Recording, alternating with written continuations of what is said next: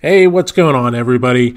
So, if you're looking for a great beach to see the sunset from, I Googled some reviews when I was in Turks and Caicos, and right here, Leeward Beach. If we zoom in on Google Maps, it's going to take you right here to this Leeward Beach parking space. There's plenty of parking there. Uh, I highly recommend it.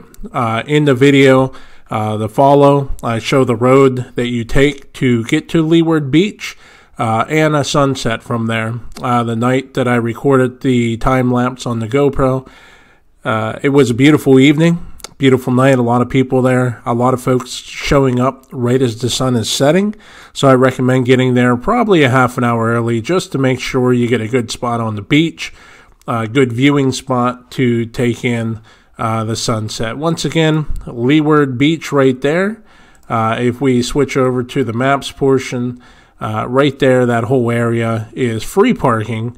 Um, beautiful sunset views. Once again, highly recommend it. Check it out. Let me know what you think about it if you get down to